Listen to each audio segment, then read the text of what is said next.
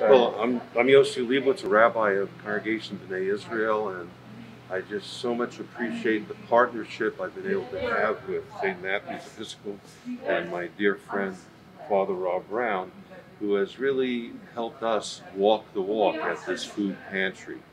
Uh, we have in our High Holiday liturgy reading uh, the Holiness Code of Leviticus. We're supposed to take care of the poor and the widow. And sometimes we just, we say the words, but we don't always put them into action.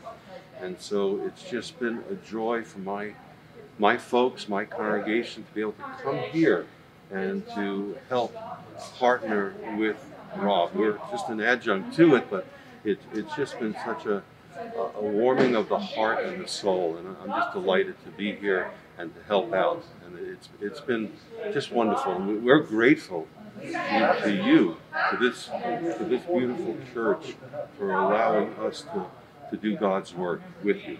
well, and and we at St. Matthew's, we, we greatly appreciate uh, the presence of, uh, of Rabbi Yossi and uh, participation of the synagogue.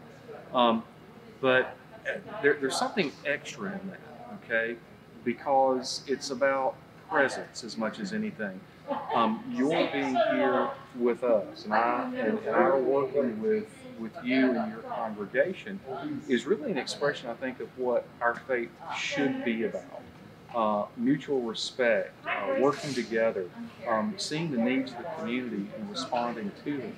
Um, when the rabbi was talking uh, a little bit ago about Leviticus and the holiness codes, uh, we talked earlier about uh, Matthew 25. You know, I was hungry, you gave me something to eat. I was sick, you took care of me. I was naked, and you clothed me. I was in prison, you visited me. I was a stranger, and you welcomed me. All of those things that Jesus is saying are a restatement, really, of what's already in Leviticus.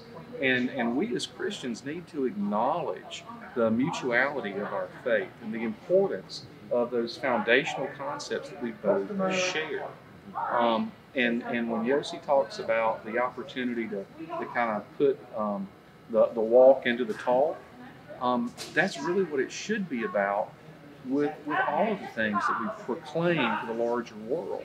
And by working together here at our food pantry, um, we're saying that, that our faith, our mutual faith, with great differences but profound foundational similarities, that we can overcome disunity, that we can overcome the, the divisiveness in our country right now by simply acknowledging that, that we are a people that are called to be together despite any differences. During our high holidays, we remember people who've died. It's called a memorial or Yizkor service, and there's a saying in there that the grave levels all distinctions. And I got to tell you that in these very difficult pandemic times, I think poverty and hunger and need uh, levels all distinctions as well.